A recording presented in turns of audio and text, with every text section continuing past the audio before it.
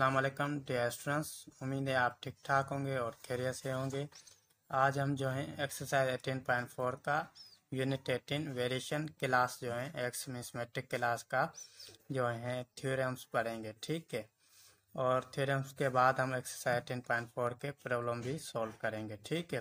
तो first theorem है theorem of invertendo theorem of invertendo क्या होता है? If A is to B is equal to C is to D, ठीक है? देन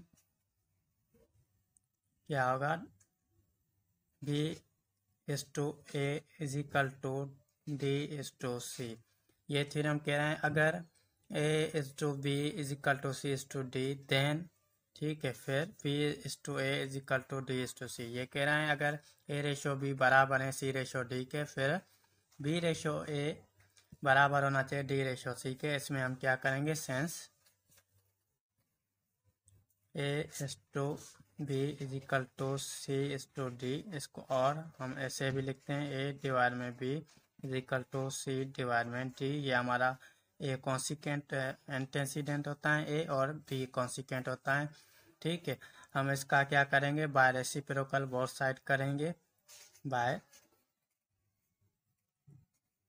रेसिप्रोकल बोथ साइड दोनों साइड रेसिप्रोकल करेंगे तो इसका क्या होगा? बी डिवाइड में A is equal to D divide में सी इसको हम ऐसे भी लिखते हैं B is to A is equal to D is to C तो ये क्या हमें कंडीशन मिल चुकी है, ये हमारा थ्योरम प्रूफ हो गया, ठीक है?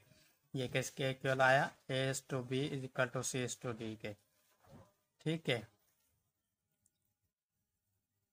अब जो है हम थ्योरम नंबर टू करेंगे। Theorem of alternendo theorem of alternendo में A if A is to B is equal to C is to D then A is to C is equal to B is to D ये कह रहे हैं, अगर ए ratio B बराबर है सी ratio D के, फिर ए रेशो सी बराबर होना चाहिए। बी रेशो डी के इसमें हम क्या करेंगे?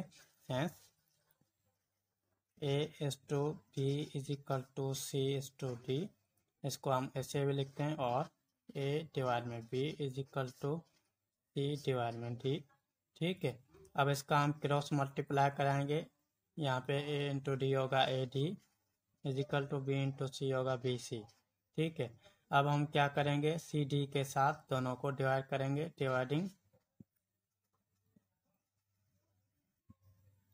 C D for side दोनों साइड सी डी डिवाइड करेंगे तो हम यहाँ पे लिखेंगे ए डी डिवाइड में C D is equal to और यहाँ पे हैं बी सी डिवाइड में सी डी ठीक है?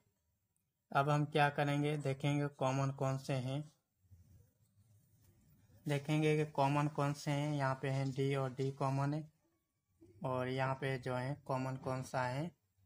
यहाँ पे बी सी था ना? तो ये सी और सी कॉमन है।